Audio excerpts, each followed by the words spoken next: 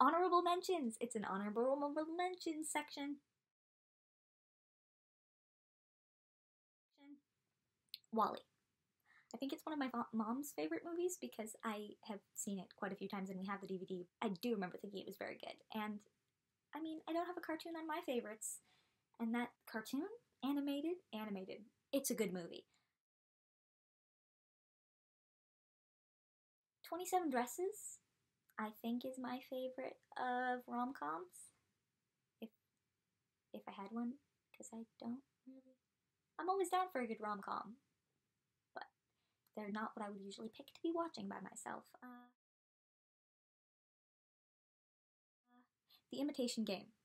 It would probably be closer to being on my list if 1917 and The Theory of Everything didn't exist.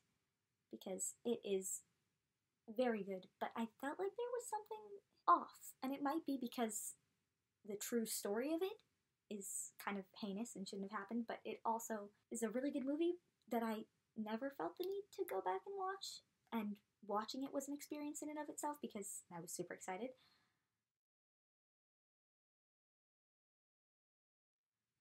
I recently on Netflix watched Suffragette.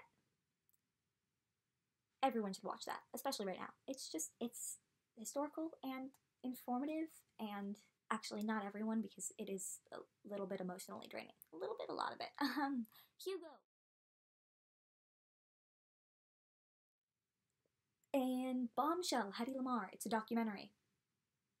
It's good. It's on Netflix. Yeah. I guess those last few were pretty much, hey, if you need things to watch. Tangent, we're gonna just go. Because as you know, when you have a DVD of something, you watch it on repeat until it falls apart. I, did anyone else did did you do that? Did I that's I'm probably that's just me. But I just forgot that it happened, and I think it's on Netflix now.